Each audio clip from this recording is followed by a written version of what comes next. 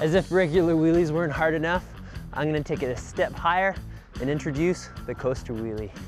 To start off, I'd like to review all the subtleties that go into a regular pedaling wheelie. While rolling along really slowly, get your pedal to the top of the stroke.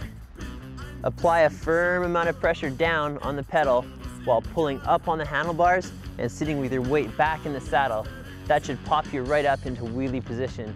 So I've got a slight slope here, which will help control my speed, and a finger on the rear brake, which will save me from flipping over backwards. To move from a wheelie to a coaster, stop pedaling and float for a second.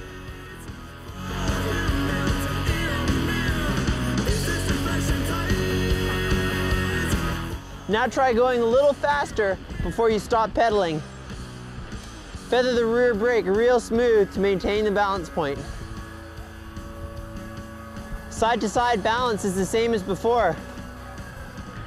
Stick your feet out to the side, twist your front wheel, and use your knees for balance.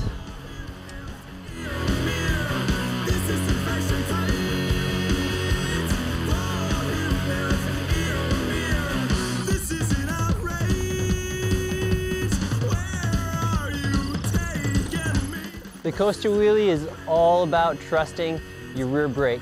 Pop it up, play with the balance point, and have some fun.